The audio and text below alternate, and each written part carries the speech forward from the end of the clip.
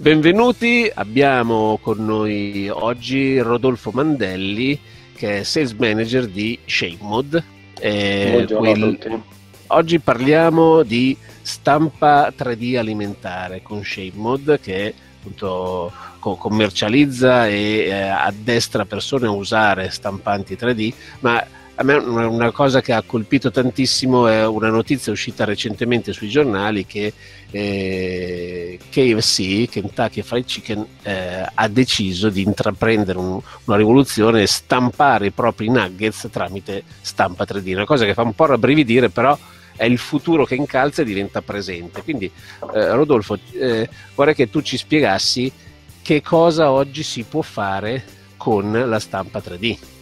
Diciamo che la stampa 3D in questi ultimi anni sta entrando in una maniera sempre più prepotente nel, nell'ambito a 360 gradi della, di quello che è un discorso produttivo indipendentemente dai vari settori.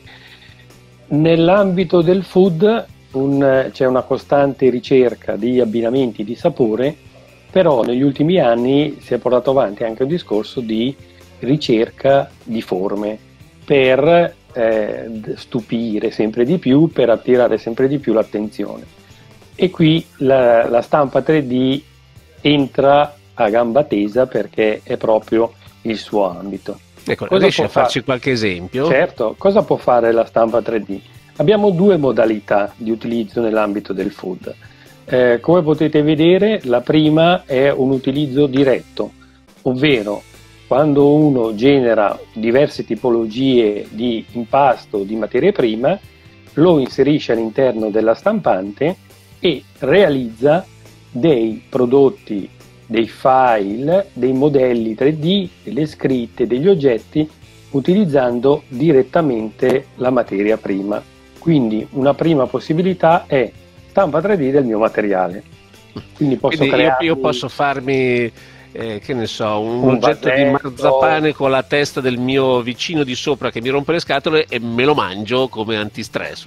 Bravissimo. Oppure posso farmi una scansione e ricostruirmela quindi ad un evento, stampare dei modellini da poter donare agli ospiti un logo aziendale, un, un, soprattutto dei richiami a secondo magari dei periodi per Halloween, dei particolari di Halloween, delle zucche da poter nell'ambito della ristorazione delle zucche da poter riempire con dei vari contenuti. Quindi l'unico limite è la fantasia, mi sembra di capire, la fantasia e la stampa, creatività. Allora, nella stampa 3D il limite vero proprio è la fantasia, perché permette di concretizzare delle idee che uno ha in testa e prima magari riusciva a fare qualcosina con molta difficoltà. Qui invece con la stampa 3D è molto più semplice e permette soprattutto anche una produzione seriale. Certo. Il secondo percorso che si può fare con la stampa 3D è un percorso indiretto invece. Quando io ho degli oggetti magari più complessi o delle produzioni più particolari, posso realizzare con le stampanti 3D il master, quindi la base, e Utilizzando questo master posso creare degli stampi a silicone o in termoformatura per poi realizzare il mio oggetto finito. Vedi magari stampi silicone per il cioccolato o per altre applicazioni particolari. Quindi, Quindi diciamo, creato lo stampo, poi lo riproduco tutte le volte che voglio. Perfetto, soprattutto il concetto della stampa 3D è che posso realizzare degli oggetti personalizzati ed esclusivi. Quindi non, non prendo dei prodotti di serie, ma faccio eh, del, degli articoli che sono personalizzati, quantitativi piccoli o quantitativi un pochettino più consistenti. Eh, allora, è lo stesso processo che è avvenuto anche in altri settori, ad esempio la, la stampa digitale. Un, un, tempo un fare un volantino era una roba che o ne stampavi 5.000 copie non ne valeva la pena, adesso ne puoi fare anche solo uno e a un costo comunque accessibile. Stessa cosa potrà avvenire in questo modo. Esatto, perfettamente, è il concetto della, della stampa 3D.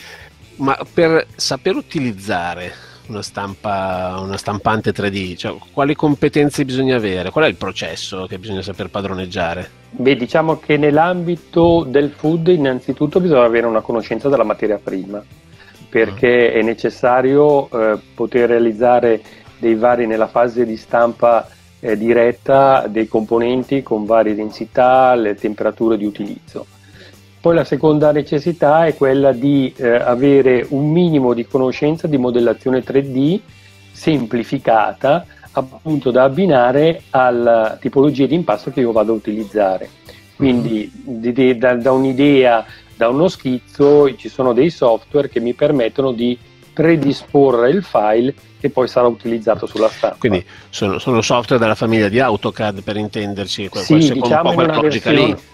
Sì, diciamo in una versione più semplificata mm. eh, in questo ambito alimentare, però è necessaria una conoscenza bivalente, nel senso io devo poter capire il mio impasto con la mia consistenza e con una determinata temperatura quale oggetto tridimensionale posso essere in grado di realizzare. Certo. Quindi per quello che è necessario un minimo di conoscenza di modellazione semplificata 3D, un minimo di conoscenza nell'ambito eh, dei software, sia di modellazione che di trasmissione dati, e la conoscenza vera e propria della materia per, eh, per poterla utilizzare. Questo ci tengo a dirlo appunto nel, all'interno del corso che stiamo eh, promuovendo, che mira a formare la figura di un tecnico superiore specializzato nella, nelle tecnologie 4.0 per la ristorazione, è previsto un modulo eh, tenuto da esperti proprio di, di ShapeMod eh, per imparare a usare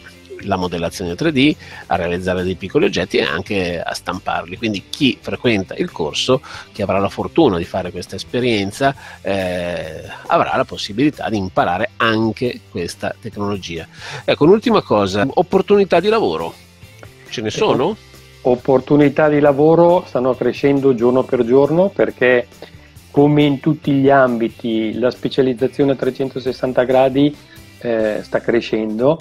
Io, noi abbiamo dei clienti ai quali abbiamo venduto il, l'hardware, quindi la stampante, che mi stanno richiedendo delle figure come quelle che ho eh, rappresentato prima, perché eh, oltre a conoscere lo strumento, a, fa, saperlo far funzionare, bisogna, bisogna, essere anche in grado di eh, poter eh, eh, conoscere la materia prima, gli abbinamenti, fare degli accostamenti. Quindi ci sono proprio del, eh, dei ristoranti, delle eh, società di catering che si stanno richiedendo queste figure, perché noi siamo in grado di ti formo, ti faccio vedere come funziona la stampante. Poi cosa metterci, quali possono essere gli abbinamenti, non è il nostro campo. E purtroppo la, la, la, attualmente ci sono poche di queste figure, quindi è un momento che sta crescendo parecchio e ci sono parecchie opportunità. Certo, anche perché eh, chi compra una stampante si accorge che poi il suo mestiere non è quello, il suo mestiere è fare il ristoratore, fare il pasticcere, fare l'organizzazione di eventi e eh, ha bisogno di qualcuno che si applichi specificatamente a quello per, eh, quindi come una figura eh, davvero nuova, che adesso non c'è e di cui ci sarà bisogno sempre più perché il ristoratore in questo modo potrà offrire dei servizi che finora non era in grado di offrire, quindi riuscirà a essere un passo avanti alla, alla concorrenza, eccetera. È un po' questo che sta accadendo, quindi.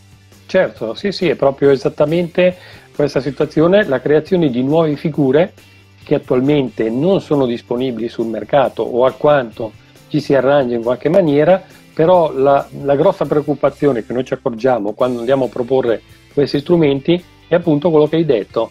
Io compro lo strumento, poi chi è in grado di potermelo utilizzare, chi è in grado di potermi fare la produzione che mi serve e quindi queste figure stanno diventando un po' il fulcro indispensabile di, questa, di, di questo percorso digitalizzato della cucina. Benissimo, eh, io ringrazio Rodolfo Mandelli e Shane per la disponibilità, la chiarezza la, di questa intervista e auguro a tutti quelli che vedono di essere sì, incuriositi eh, rispetto a questa tematica e di eh, partecipare al corso dove imparare tra le tante cose anche a stampare alimenti con la stampante 3D. Grazie Rodolfo e Grazie eh, a arrivederci, a presto. Grazie a voi, arrivederci a tutti.